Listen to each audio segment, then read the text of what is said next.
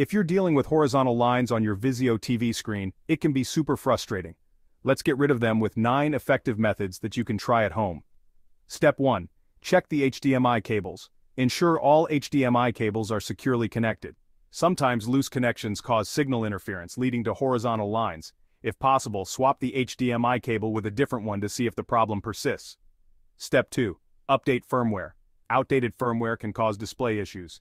Navigate to the settings menu on your Vizio TV and check for software updates.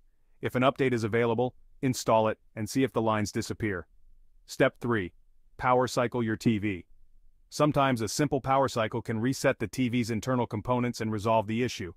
Unplug your TV from the power source, wait 5, 10 minutes, and plug it back in. Step 4. Factory reset. If the above methods don't work, consider performing a factory reset.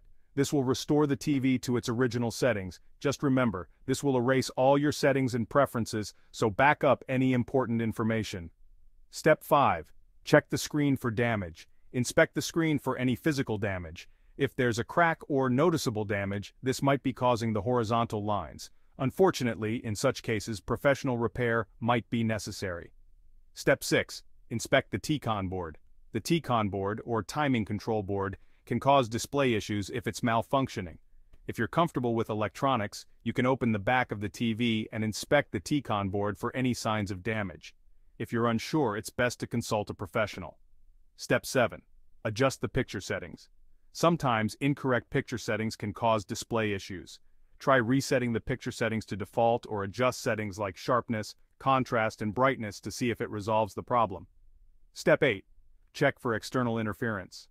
Devices like routers, mobile phones, or even other electronic devices near the TV can cause interference leading to horizontal lines, Move such devices away from the TV to see if it helps. Step 9. Test different input sources. Sometimes the issue might not be with the TV, but with the connected device. Test the TV with different input sources, like a different streaming device, cable box, or gaming console, to see if the lines appear on all inputs.